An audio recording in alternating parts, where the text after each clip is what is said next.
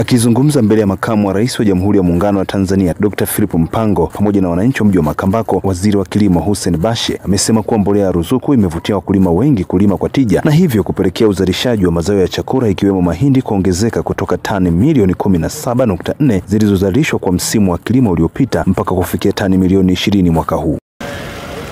Ruzuku ya mbolea inaendelea kama tulivyoagizwa na serikali ya Chama cha Mapinduzi. Hii inaendelea kwa. Nawashukuru viongozi wa mkoa wa Njombe, wachakachuaji wamekamatwa na tutaendelea kuchukua hatua. Mwaka kesho, wote watakaofanya forgery kwenye mfumo wa ruzuku tutawapeleka mahakamani ili tuweze kuwachukulia hatua za kisheria.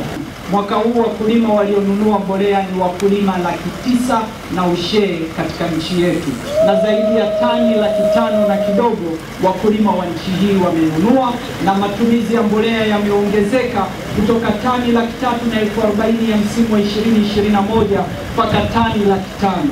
Ni malengo ya serikali tufike tani milioni moja. Aidha, amesema kuwa zao la mahindi pekee uzalishaji wake umeongezeka kutoka tani milioni saba nukta tatu hadi kufikia tani milioni nne huku waziri Bashe akiwahakikishia Watanzania kuwa hakuna Mtanzania ambaye atakufa kwa njaa, kwani serikali ina akiba ya kutosha ya chakula. Mahindi yameongezeka kutoka tani milioni saba pointi tatu mpaka tani milioni nne na kidogo, karibu milioni tisa.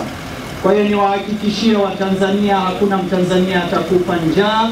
Haya ndiyo maelekezo ya serikali ya Chama cha Mapinduzi.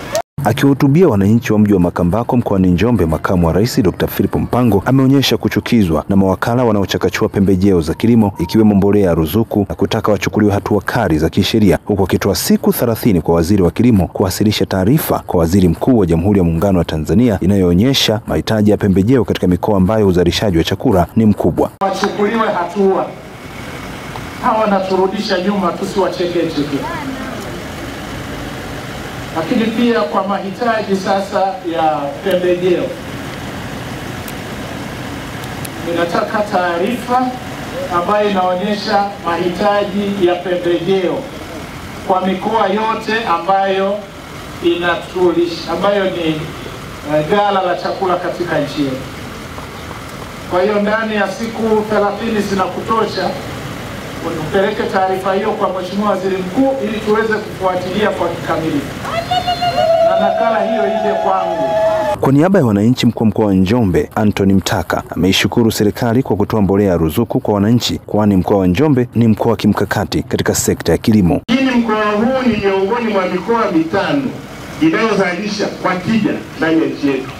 Naomba nitumie nafasi hii kumshukuru sana Mheshimiwa Rais kwenye maamuzi ya mbolea ya ruzuku, na tunamshukuru sana Waziri wa Kilimo kwa kusimamia na kuhakikisha kwamba watu wote ambao wanafanya ubadilifu na uchakachuaji kwenye mbolea wanaenda kwenye kuchukuliwa hatua.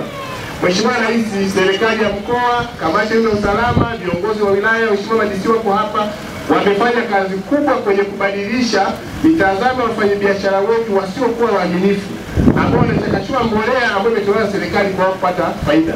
Hatua nyingi zimechukuliwa, lakini kikubwa uzalishaji umekuwa mkubwa, na sasa kazi kubwa ya serikali kuhakikisha kwamba wananchi wanazalisha kwa tija kwenye eneo hilo. Kutoka Njombe, mimi ni Ibrahim Godfrey Mlele.